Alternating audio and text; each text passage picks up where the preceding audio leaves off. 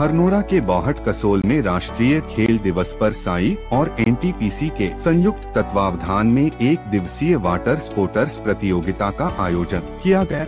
इस कार्यक्रम का शुभारंभ एनटीपीसी हाइड्रो महाप्रबंधक मधुकर अग्रवाल ने उनके साथ वरिष्ठ प्रबंधक CSR Anjula, SAI sports coach Angrez Singh और मुख्य आयोजक प्रकाश चंद ठाकुर मौजूद रहे। इस अवसर पर मुख्यातिथि ने खेल दिवस के महत्व पर प्रकाश डाला और सभी को बधाई दी। इस दौरान वाटर स्पोर्टर्स की गतिविधियों के साथ मनोरंजनात्मक खेल भी करवाए गए।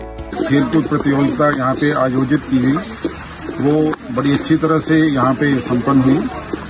बच्चों ने बड़े मन से, बड़े जोश से इसमें पार्टिसिपेट किया और ये जो इस तरह के जो भी आयोजन होते रहे, जिससे बच्चों में एक जोश की भावना रहे, बच्चों में एक प्रतिस्पर्धा की भावना रहे, बच्चों में एक खेल भावना की भावना रहे। ये इन बच्चों ने ये सीखा है और आगे भी सीखेंगे कि हमें टीम वर्क में कैसे काम करना है और खेल भावना से कैसे काम करना है। तो मेरा यही इन सबको संदेश है कि खूब अच्छी तरह से खेलें, खेल भावना से खेलें और एक लीडरशिप की टीम में काम करने की वो जो एक आप में क्वालिटी आनी चाहिए, वो उसको सीखें यही मेरी आपको शुभकामनाएँ।